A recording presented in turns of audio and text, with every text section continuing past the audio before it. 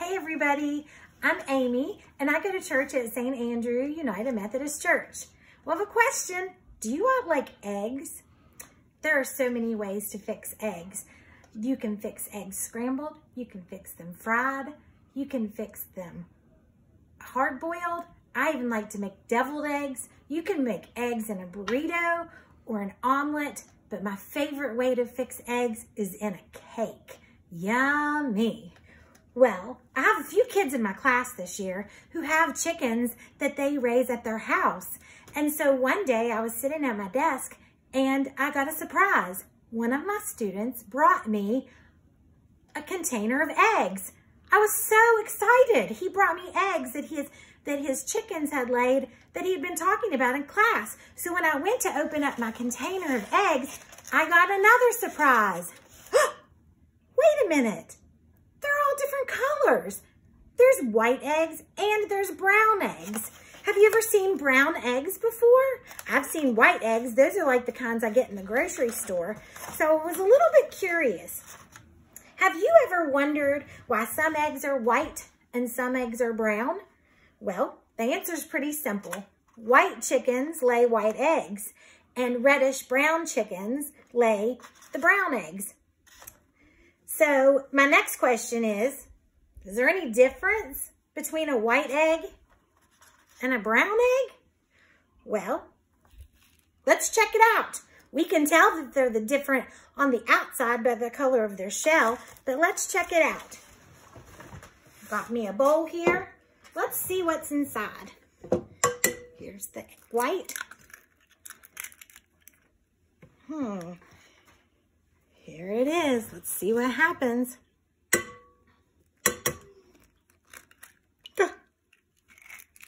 Wow. Very interesting. They look exactly the same. Pretty much the same. On the inside, well, did you know that eggs, brown eggs and white eggs have the same nutritional value? One of them is not better than the other, and they even pretty much taste the same. So um, they're, they might be different on the outside, but they're all eggs are the same on the inside. So, you know, that's what I started thinking about. And um, it's a little bit true of people too, I think. Some people might be light-skinned and they might have blonde hair and blue eyes. Other people have red hair and they might have green eyes. Some people have darker skin and they have brown hair and brown eyes. On the outside, they look different, but on the inside, they're all the same.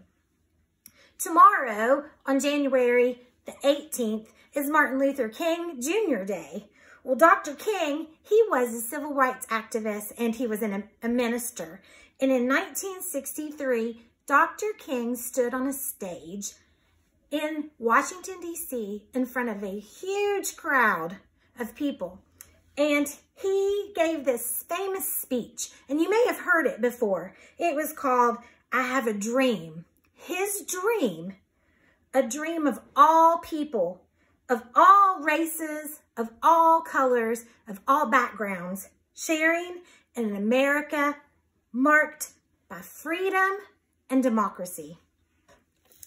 I remember one part of the speech that reminds me of the eggs that we just looked at.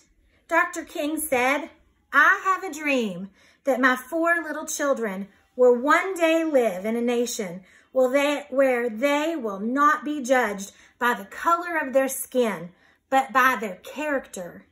Just like the eggs, we may be different on the outside, but we are all the same on the inside, in our hearts. We are all children of God. Red and yellow, black and white, they are precious in his sight.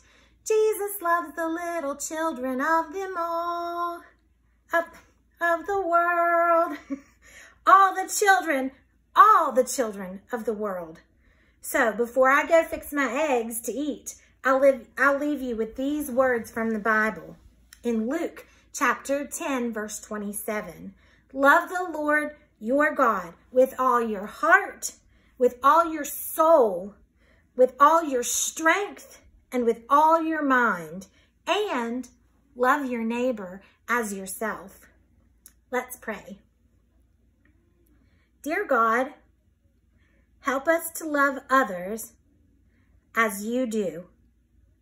Help us to tell the good news that Jesus is Lord of all and that we are all children of God. Amen.